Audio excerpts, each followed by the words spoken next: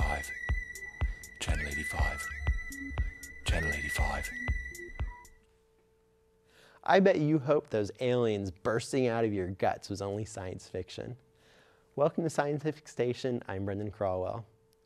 Parasitoid wasps are nature's answer to science fiction aliens bursting out of our bodies. They're little tiny wasps that fly around and lay their eggs on top of other insects. When the eggs hatch, they burrow inside the insect, eating its guts while it's alive. And when they are good and ready and mature, they burst out of the insect, usually killing it as full grown wasps. And then they fly off and repeat the cycle over and over and over. These wasps live for about two weeks, so this cycle is constantly happening somewhere in the world.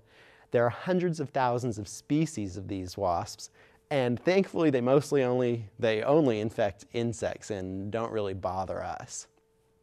Now, when they burst out of the insect, they kill it. So scientists have realized for quite some time now that they could use these wasps to kill bugs that are eating our plants in our farms that, where we're trying to get food. It's an effective means of uh, killing the insect because it targets the particular insect. Uh, and if it can be controlled, it's really effective. Uh, recently, uh, four species of these wasps have had their complete genome deciphered. Now, the genome is the DNA that every living organism has inside its cells, and that DNA tells what the insect or what the organism is going to be like.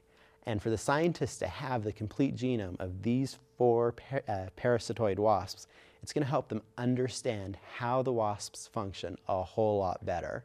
And this is going to definitely help with agriculture as we need to better understand these relationships between the wasp and their pests. But also, now that this uh, these species of wasps have had their genome uh, completed, this makes them what scientists call a model organism. We can study all aspects of the way the wasp lives, but also look at the DNA that influences how this wasp lives and what it does. And understanding that can give us information that we can use on other species and help us understand genetics in all kinds of organisms. Specifically, having this information is going to help us with complex trait analysis when we're looking at DNA in other organisms where we're not quite sure how it works. We can use our information of these wasps that we understand really well now to understand that. And also looking at developmental and evolutionary genetics.